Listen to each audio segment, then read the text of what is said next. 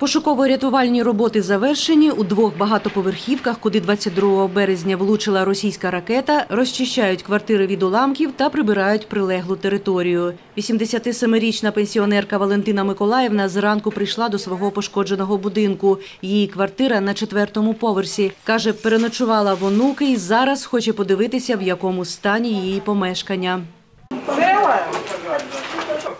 Я даже и не знаю, откуда оно. Откуда оно вот это падало? Из-под, смотрите, между потолком. Ну, я не Вон, вижу. вон. Видите? Вот. с лоджией зашла на кухню. И вот это, когда все случилось, все начало шум, трещать, лететь там стекла. Понимаете, вот это вот крик людей, вот это, что я слышала. Ничего не соображала. Меня сосед у него тоже схватил под руки и начал меня выводить. И я не, уже нельзя, шли мы по стеклам, я ни палочки не взяла, не успела, ни квартиру не закрыла, ни одной копейки не взяла, не успела. Ну, квартира в более-менее нормальном состоянии. Но это вот рядом. Четвертый этаж, то есть квартиры все горели. Сейчас будем убирать, вычищать. Про ракетний удар дізналася з чату дитсадка сина, жителька торцевої квартири, що на першому поверсі Ілона. У цей час вона була на роботі, а вдома залишилися чоловік із п'ятирічною дитиною. Я начала дзвонити мужу на телефон сыну, на телефон и не смогла дозвониться.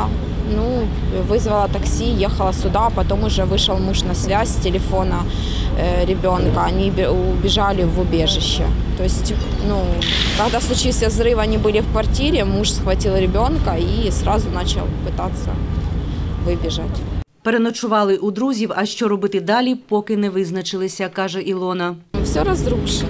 Ну, нету полбалкона, нету окон, э, двери, стены вроде все целые, ну, полностью разбиты все шкафы, все, вся техника, мебель, все залито водой, поздувался линолеум, ну, как бы, ну, там ужас, там невозможно будет жить. У момент вибуху родина була вдома, але на щастя вціліла, розповідає жителька сусіднього будинку Юлія Полусмяк. Цей момент була тривога, тому ми знаходились в коридорі.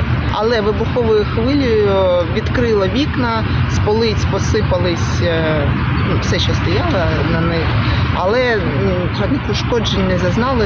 Опівдні на дитячому майданчику, що поряд із дев'ятиповерхівками, завжди багато родин із дітьми. Це диво, що ніхто з них не ушкоджений, каже Юлія. Моя знайома з дитиною, коли відбулись перші вибухи, перші три вибухи були недалеко, але вони злякали людей і вони побігли додому ну, в цей будинок, і вони за три хвилини до вибуху були вдома і не постраждали. А так всі гуляли на майданчику. Другий день поспіль допомагає мешканцям багатоповерхівок волонтер Даніїл разом зі своїми друзями. Перше, що ми побачили, це літня жінка, яка знаходилась в шоці. Е, У неї було е, все лице в крові. Е, Ми допомогли їй чим могли. У нас є набори медичні. І доставили цю жінку в наш автобус для подальшої допомоги. Ще була жіночка, тож теж похилого віку, яка врятувала свого попугу. Десь у другій половині дня вивезли по шелтерам чотирьох людей, у яких було зруйноване житло повністю. Розчищення зруйнованих квартир сьогодні мають завершити, аби розпочати роботи з їхнього консервування та укріплення конструкцій будівлі, повідомив заступник міського голови Олександр Власюк. Відновлена комунікації по електриці, комунікація по воді. Зараз у нас частково в будинку в цьому під'їзді один стояк тільки від, відключений по воді. Зараз наша комунальна рятувальна служба буде приступати до стабілізаційних робіт, до консервації і стабілізування самої, е, ну, самої конструкції будівлі для того, щоб уникнути подальшого суву і обвалу верхніх етажів.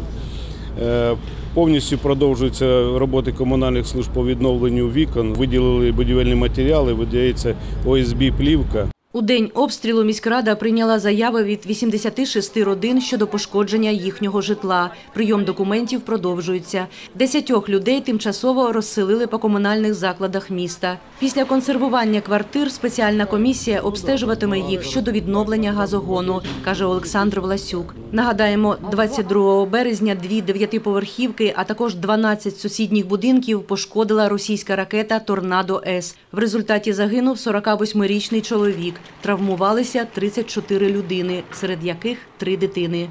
Ольга Ларіонова, Геннадій Корчененков, Суспільне, Новини Запоріжжя.